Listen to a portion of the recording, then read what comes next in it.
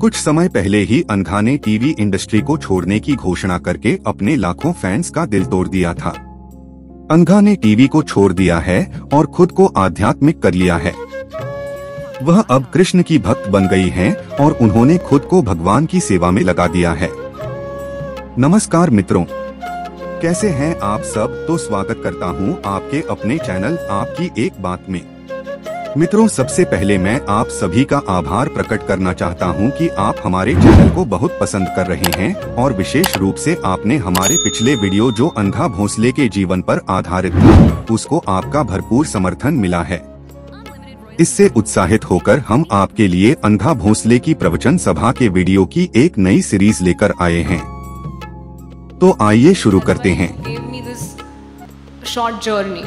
And now i don't want it. My desire is fulfilled i don't want it and you gave it because it was a desire and i thank you. But now i have these you know 1 million like 10 lakh people were there on instagram. I was like it's a big amount. How can we use of it? How can we make use of it? Just give me that intelligence. This was before i went to Vada I was not even using social media that time. I wanted to stay away from everything, you know, everything like that, whatever. And uh, when I went, Gaurang Prabhu, you know, I had booked the room in Vada for five days, and it's been five months now that I'm serving there. I've not come from there after, you know, that five day this thing but uh, that's how I started uh, my journey in Vada, and that's how we started serving there. So we make videos on spirituality, and our mission is uh, Sri Chaitanya Mahaprabhu's mission how we can make Harinam available to everyone. That's all what I want is um, make use of that social media to. Uh, make people understand there's a higher power or there's something higher above this material world because everyone was shocked that why would you leave something which is gives you happiness and gives you fame money over something which gives you nothing. They think in that way. But no it's the vice versa. I've left unhappiness which is not going to give me anything at the end of my birth and i have chosen something which will give me my true happiness and which will give make my soul grow. I would not think what will make my body grow. I'll think my what will make my soul grow and progress in spirituality so that was the journey for vada and we are still serving there and yeah so this was it Thank you, Mataji. Thank you for beautiful answers. Hare Krishna. Hare Krishna. Anyone else wants to speak something or want to share something also what they feel about spirituality or how they want to get go ahead further, whatever it is. Hare Krishna. Hare Krishna. Um, so I first want to share a small incident. Yes. So uh, my dad is very uh, connected with ISKCON Mm-hmm. and he has been serving for a project in Vada Okay. and so he keeps traveling there so i he took the, us all you know with him and um, i think i i before that i never had an opportunity to like you know in person and very close up meet with radhanath swami maharaj. Mm-hmm. And i just had this desire that oh we are in vada and there are chances that is he there? I was asking my dad you know again and again is he there? Will i be able to meet him? And so my dad was like he's not always here. He is all traveling and everything like that. I don't think he's here. He also had no clue if maharaj was there. So we entered and there is this um, la- a place where everybody takes lunch and prasadam Yes, yes. so we went there because we reached at the time of lunch. So and uh, we saw Maharaj. I'm like, oh my god! I that was a magical moment. Like, okay, I did not expect him to be there. And the the, the second beautiful part about it was he was going to everyone's table one by one and talking to everyone one by one. He gave his time to everyone, and I did not expect that because he is such a you know big figure, and people always want to be around him, and there's so much crowd around him and stuff like that. But that day, I don't know how, but he could, he had that time, and there wasn't a lot of crowd. There were just random people, and everybody was enjoying their lunch. So he came over to us also, and um, I had a chance to uh, interact with him. It was a very small interaction, so I said that I You're really- very lucky. Small know, interaction with Maharaj is also very, so very divine. amazing, very very amazing. So I, I told him that I read Journey Home, the Journey Wow. Home, and I was so inspired by that book. And in return, he told me, I still remember it so clearly. Uh, he says that you are the inspiration for me. You people are the inspiration for me, and I was like so touched by uh, his words, and it's it's it's just a magical experience to be around such divine people. You just feel that aura. It's a beautiful, Yes, beautiful yes, aura. yes. And the second, uh, I, I'm Shikshashtakam Prabhuji, he is like the main preacher here. So with him, I again feel that aura and connection. I mean, his presence just changes the entire atmosphere. So I just wanted to talk about how spiritualism gives you a particular aura and helps you to, you know, just with the presence of that person, it can just change everything around you. See, with spirituality, we are removing the dirt from our souls, correct? We are making that diamond which is full of mud, we are making it shine again, and the diamond is Krishna's this thing. We are all his part and parcel. So every part and parcel here is has its own divine power. When you understand that, you see Krishna in everyone because you're the soul is coming from him. When you see Krishna in everyone and everything, when you say Bhagavatam, uh, the entire universe is his body, correct? Why do you think the sky is blue? So, yes, when you start your journeys, you start creating and you start making that aura stronger, and that positive aura gets stronger and stronger with your sadhana.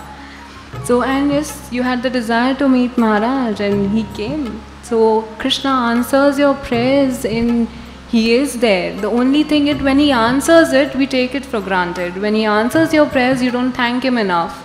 You just think it was supposed to happen and it just happened. But what we should think, we should reciprocate that thing and we should thank him enough. We should say that I'm really sorry, I'm not thanking you enough, but I know it was you. I know you answered my prayer. I know you're listening every thought I am having for every single person out here. He knows every thought, He knows everything. So it's just we forget that He knows everything. Yes. And you mentioned about the sky, so like right now it's raining and it's like really literally Shyam out there.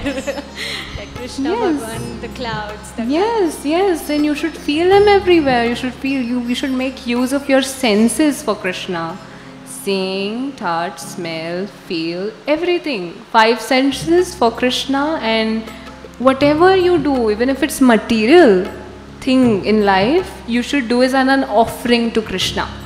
Even if you all want to get married one day, think and keep that consciousness in your mind that you want to serve someone, you want to create or make each other grow spiritually and make each other closer to God. We want to offer each other to God and keep that consciousness in your mind and you can offer everything in life. You can have that consciousness. Your superpower should always be on with your quotes on. Correct? So that we keep that in our mind and we should continue our journey like that. I have one last question. Please. So, since childhood, we've been associated with ISKCON. But I'll be very honest, I am not someone who does 16 rounds of mm-hmm, chanting. Mm-hmm. And I don't follow a proper, you know, the schedule which is supposed to be followed apparently or anything like, you know, that is ritualistic. And Correct. I don't really follow it to 100%. Even though I've been associated since childhood. So um, I do chant, but not 16 rounds. Okay. Now, my question is that since you were also associated since your childhood, do you think that being a part of the acting field, because you were in acting, did that somehow, you know, guide you more intensely to Krishna consciousness? Like that experience was required to pull you towards Krishna consciousness, or without that, you would just, without acting, you could have See. still been so attached? Okay, that's a very good question. Thank you. And uh, yes, of course, that plays a very significant role to, you know, and that is how Krishna's Leelas work. He will, if you have the serious desire to serve him, he will make you get attracted to him even more in a very twisted way. He'll give you some situations that you break that thing and you you come closer to him. Of course, that um see, I'll tell you, he's the doer, and whatever is happening, it doesn't happen without his will. It has to get go there. He has to pass it, put a stamp, and then it goes. Okay, If it, it's say it's said that on this planet, not even a leaf moves without his permission. Correct. So of course that journey was completely, and that was my own desire which he fulfilled. I desired that to be there, which he fulfilled. But he made me understand what you're desiring will take you away from me. Do you really want that? Of course, that experience made me much more closer to him, and that's his mercy. That's the way he showed his love to me by getting me closer to him, you know. And that's how he does with his devotees. He gives them what they want, but he also makes sure that by getting that, they understand his value and they get closer to him. So he's like that. That's why we I tell everyone be very careful in what you ask for. He fulfills your desire, and then you're like, but you know, how come this is like, no, you asked for it. You asked for it, and I gave you. So he's very merciful and he always wants us. He's very, Krishna is very like, you know, no, that's my devotee. He's very possessive in love and all that. So he will make sure that you come to him.